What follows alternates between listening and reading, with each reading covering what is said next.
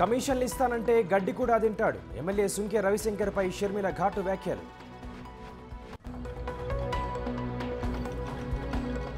అమరావతి రాష్ట్ర విభజన పిటిషన్లపై సుప్రీంలో విచారణ. ఈ నెల ఇరవై ఎనిమిదికి వాయిదా వేసిన ధర్మాసనం.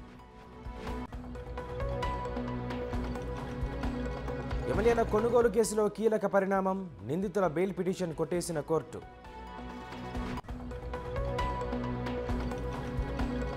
టీఎంసీ మంత్రి వ్యాఖ్యలపై మమతా బెనర్జీ స్పందన. రాష్ట్రపతిని క్షమాపణలు కోరిన దీది.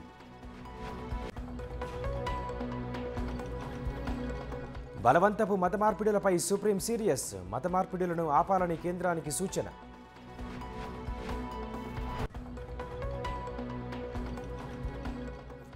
నష్టాల్లో ముగిసిన స్టాక్ మార్కెట్ సూచీలు. అమ్మకాల సెగతో మరింత పెరిగిన నష్టాలు.